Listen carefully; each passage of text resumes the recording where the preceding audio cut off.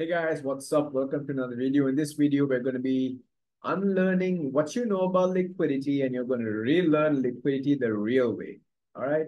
Now, this is all attributed to my study, all attributed to what I have been observing in price, and also all attributed to what I have learned from ICT. But here's the thing. Here's what ICT is not telling you.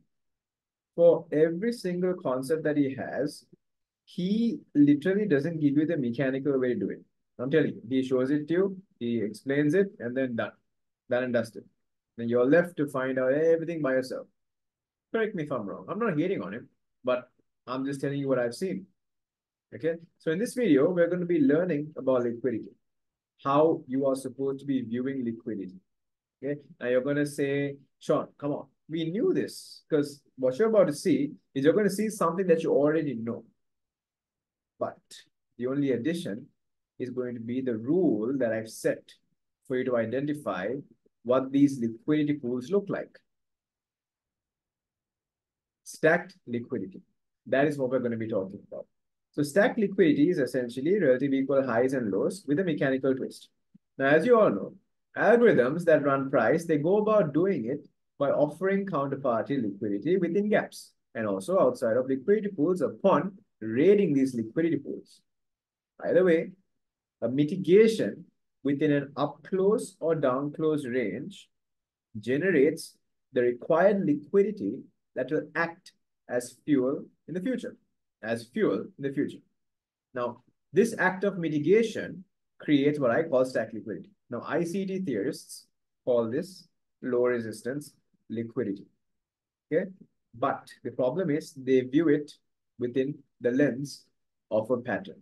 It is not a pattern. I mean, it kind of is, but it isn't. Okay, so take a look. How do we use this information? Watch. Stack liquidity is your obvious drawn liquidity. Now, I'm sure if you guys have referred to my other videos now, my price action review videos, the commentary videos, you will see me shitting on everyone that's regurgitating and repackaging ICT content. Now, what what what are the rules that these people give you something that's supposed to be obvious? Oh my God. My friend, in order for you to use this theory, that theory, you must have obvious drawn liquidity. How is that different to ICT? Huh? I mean, you come to YouTube looking for a quick, you know, looking for a quick answer, but then the other asshole says, find the obvious drawn liquidity. I'm going to give you the answer. Look at this stacked liquidity. Okay, now I'm going to draw my little thingamajig over here. Watch. Here, can you see how we have this up close candle? It kind of, it, it is a rejection block, right? But it is also an order block on some fractal interval. Okay, see how this, we got a reaction right here from the swing point. The moment we form that swing point, this guy becomes stacked liquidity. Why? Because there's a lot of orders that are going to be stacked over here. Okay, the stop loss is going there, the liquidity is going there because of this reaction. It caused the market to go down just a bit. That is stack liquidity. And when price takes it out, rejects, and starts selling off, what is that? That is a change in the state of delivery, and that is also known as order pairing.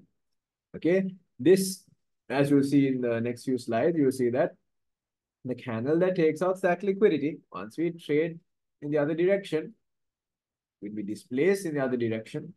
That is your change in the state of delivery. Then telling you that, ah, there, that's the manipulation. So if you're going to use my three-part uh, method for doubling theory and power three expansion, if you watch my, if you if you went ahead and watched my uh, price action commentaries, you'll know that when price takes out stack liquidity, that is your manipulation. Then you can expect what? Distribution. Okay, that's how you can anticipate these phases of price easily. Now watch.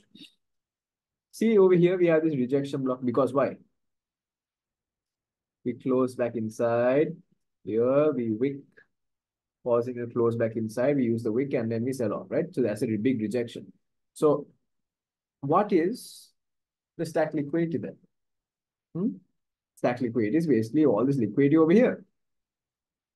Okay, now if you fail to see this, I'm sure because it's it's it's it's it's by a very minute basis of uh, uh, you know the pips. So let's say this one here, rejection block. Still, you got the reaction, you got the mitigation. This is your stack liquidity. Okay. When price takes it out, rejects, starts trading lower here.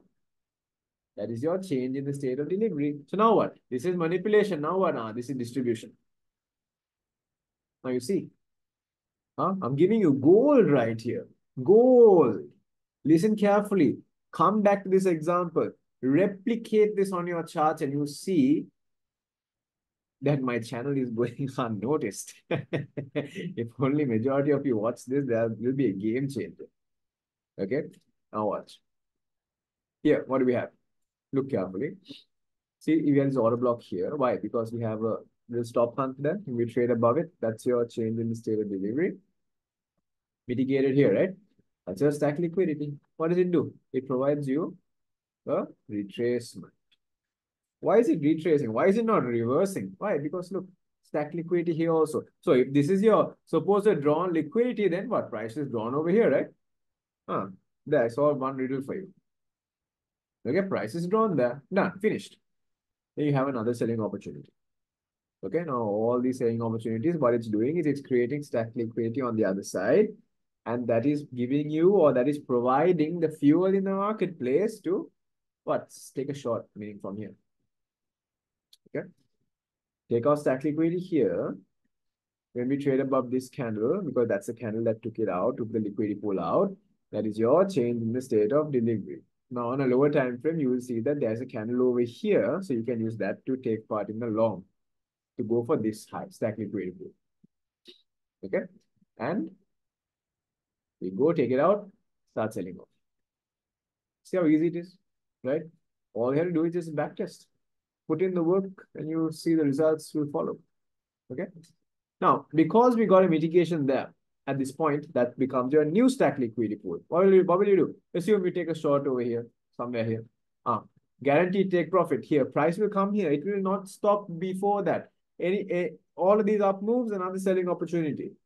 If you know what your obvious drawn liquidity is, now you know what obvious means within double quotation, air quotes. okay. Change the seller delivery. The candles that take out stack liquidity are high probability candidates for order blocks and anything CSD related. So this can also be fair value gaps. This can be liquidity voids, BCCB, Jiffy, Gibby, anything you, you name it. These are your high probability candles that will be used in order to move price. Okay, in order to move price. Don't believe me? Watch. See, huh? This was stack liquidity there. What happened? Okay, that's one. Yeah, that is one. Then see, this this guy this guy over here took our stack liquidity, right? Now watch. See the resistance, natural resistance. Hmm? Okay, let's see something else. Uh, this wick took out stack liquidity, so rejection block. You see? Anything else? Let's see. Here we have order block, there, there. Okay, this wick here. When we close below it, what is price doing? Using it to sell off. It works, I'm telling you, 100% of the time. This is the truth of the market, along with my fractal dealing ranges and also my entire fractal framework as a whole outside of ICT. Right? So I hope you found this insightful. If you did like this video, please leave a like and leave a comment as well, showing your appreciation. And I'll see you in the next one. Good luck and good trading. Bye-bye.